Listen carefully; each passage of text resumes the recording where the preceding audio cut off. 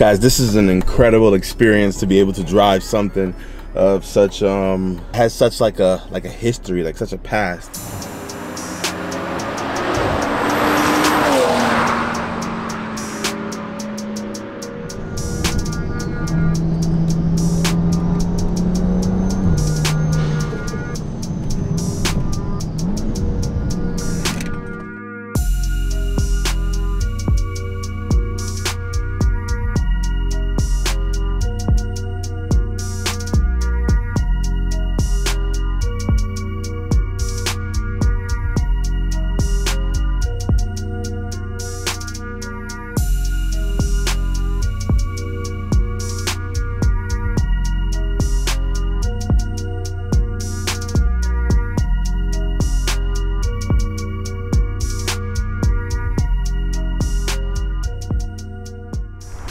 What's going on guys? Welcome back to yet another video. Mike from Slowspeed. Today is gonna be a quick BMW video for you guys because I've been on a prowl hunting looking for uh, the next car for the channel and I, I have few ideas but this one I'm a little excited about.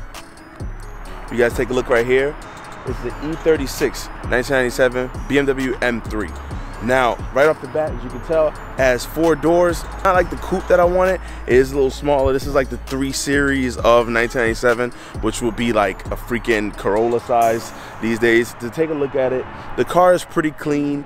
Uh, shout out to the guy, I think his name's Kevin. Uh, he let me take the car off like a quick second. So I figured why not seize the opportunity and grab some footage and uh, get you guys opinion on whether or not this should be the next car for the channel. Right off the bat, I'm gonna go ahead and tell you guys, uh, I have a lot of plans if I do pick something like this up.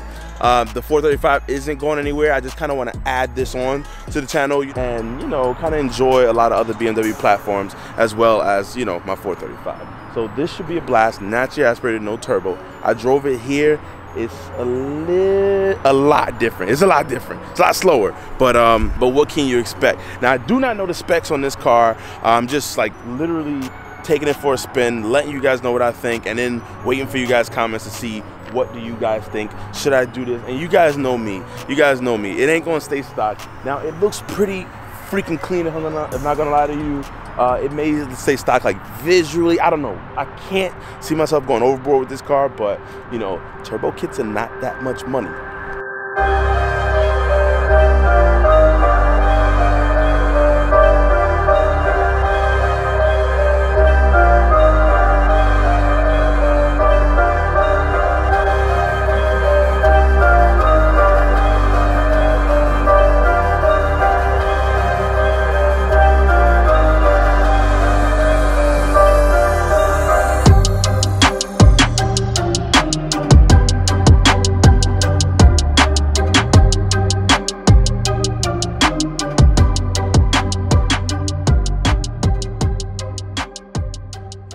I looked at a few.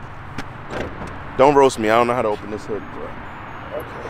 I looked at a few, and I'm telling you, this right here is the cleanest example that I found in like the New York, New Jersey, whatever area. This right here is super clean. It's unmolested. Yo, one of the best things about these cars is the fact that they are unmolested. Now you have a few upgrades here that he spoke to me about, like this, and you know, but for the most part, it even has a stock airbox. No tuner tuner ricey ram air intake. And it's pretty clean. Rust is to a minimal. Things I noticed, this right here is from factory. This front lip, it looks nice. It's about all you need in a car like this. Uh, looks like upgraded uh, headlights. Now you see, like I said, got a little uh, rust right here. And he pointed out to me some down here by the door. But other than that, look at, it even sits nice, you know? has such a timeless, timeless, timeless design, man. You just don't get any better than this E36. One thing that's a little funky though, the mirrors. I know it's a little difficult. Ugh. Now getting in the car is uh, proving a little difficult because it's not as not as exactly, you know, a huge car. Roll the window back up we're gonna take it back to the shop. Uh, one thing I found that's very interesting, these buttons down here, all the pixels work, the aircon works.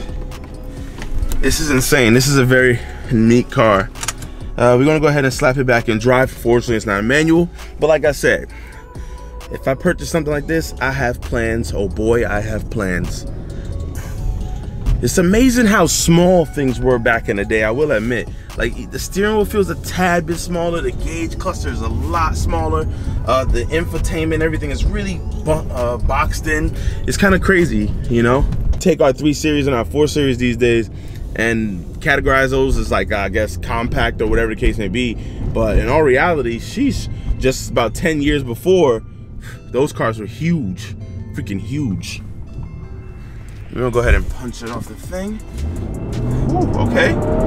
Okay. Okay. All right. This thing is no slouch.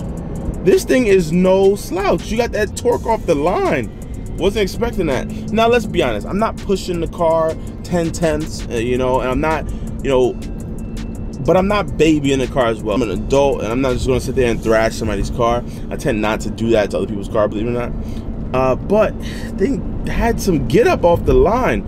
For something with 207,000 miles, I, I, would be super scared to push something like this.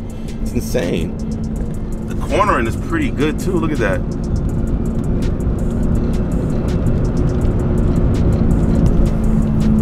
I like it because, like it, the steering is so responsive. Now, now I do feel a little body roll, but I guess that's to be expected. Uh, this car, wow, wow.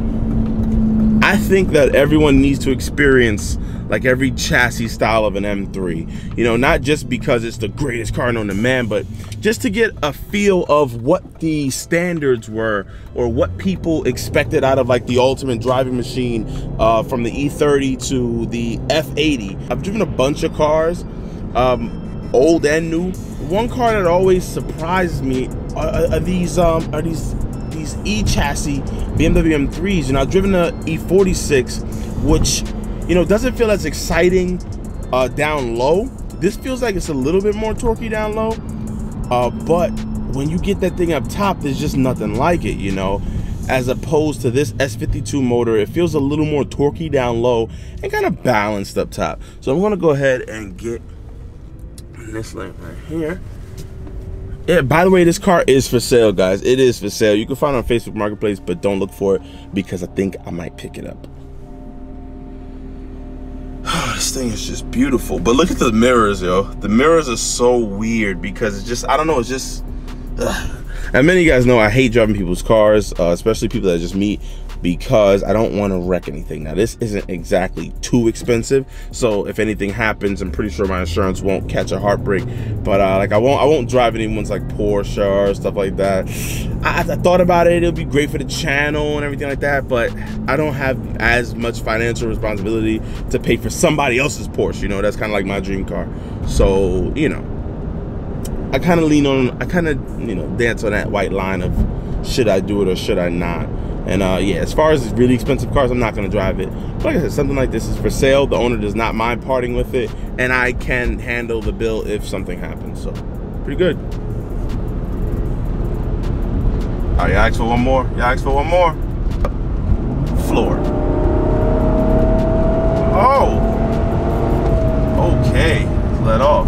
Yo, that was the most exciting 50 to 60. I feel like I was going a lot faster, but I wasn't. Oh my God, this thing feels pretty good. Automatic. I wasn't expecting to enjoy an automatic M3, you know. The automatic transmissions back in the day, despite whether you had power mode in your Lexus or Toyota or, you know, sports mode in this car, it really wasn't nothing to enjoy in my opinion. You know, if typically in the manuals you got an extra gear and uh, and just that driver enjoyment, but this thing is pretty, pretty exciting to drive, I will be honest off the line. It just feels so, it just, I don't know. You know, maybe I'm expecting it to be a lot slower than I think it, it, it should be. Uh, maybe that's why I think it's pretty quick, but I don't know. I don't know. This feels nice. It has guts, has balls. has balls. Oh man, I don't know. I'm interested in it, guys. I think I might pick this car up. I really do. I really do. And I think you guys will enjoy it. Comment below. Let me know what you think. You guys want an older BMW on the channel. Now, this is not the last car that I'm ever going to get. I said I dreams to get a Porsche. I, I, if I get this car, I think I found the replacement for the BMW uh, 435, but you guys are going to be probably, you probably guys are going to probably hate me. Uh, I've been contemplating a bunch of things, you know. Should I get the new M4 when it comes out? Uh, a bunch of different things. Do I go straight? Okay, yeah you know, should I should I try to get the Porsche 2017? Should I get the new M4 when it comes out? Should I get a car that's BMW that's kind of already out that might change the game a little bit? Or you know, should I go back to the old school, bro? It's like I don't know what I want to do. But this, I think, is pretty much a safe buy because I can hold on to something like this. The value doesn't really drop. You know, if anything, I might lose a couple thousand or I might lose a couple thousand or might even gain a couple thousand. But at the same time, I get to enjoy something, make content, and, you know, spread the word out there that you don't need to break the bank in order to have fun. You can have fun right out of the box, 1997 M3. Now, you're going to get gapped by everybody, let's be honest. But I think you'll have fun looking at everybody's taillights in this car for some reason. Oh, bro kill. Oh, they got him good too.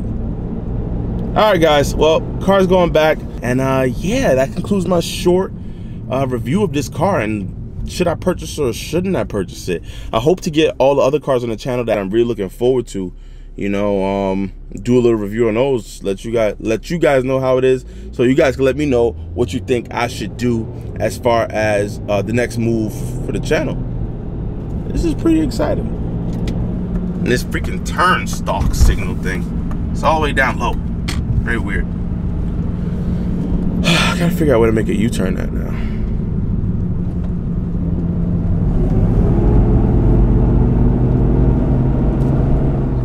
36 BMW M3. It's legit. This close to buying it. There's only one issue, actually. So right off the bat on the windy roads, you kind of feel the car, you know, it's not really as dated as you would think it is. I wish I had like a mount or tripod setup. It doesn't feel as dated as you would think, you know. The steering is a little loose. Oh, and we have radar. What I'm gonna go ahead and do is, I'm gonna go ahead and slap that sucker in sports mode just to see what the automatic trans has to offer now if i purchase something like this i think manual swapping it will like uh, a uh, hundred percent happen however like i said uh, we will see and uh, I'm gonna leave traction, all that stuff on. Doubt, uh, doubt I'll spin the tire, loose grip, or anything. But uh, yeah, go ahead and um, see what she's got.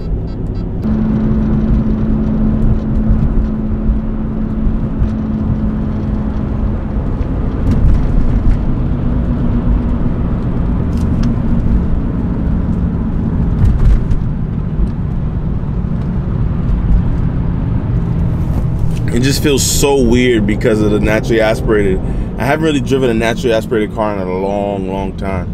The signal stalk is like way down below, so you gotta kind of uh, then muscle your way over in this little this little tank. This thing is a tank.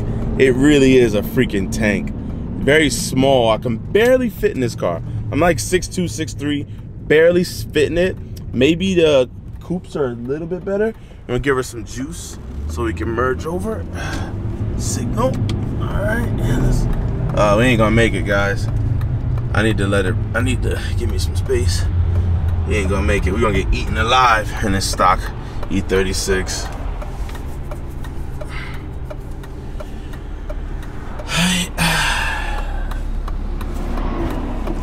There we go. We think we found our time to shine. All right. Whoa! It actually had a little buck to it. Ah.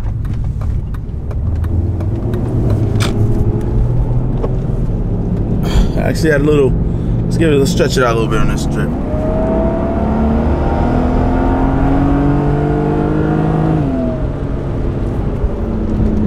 Okay.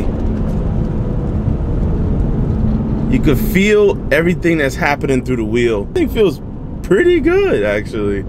Uh, given it being a 207 mile, 207,000 mile car, 1997, uh, this car is pretty. I like it though.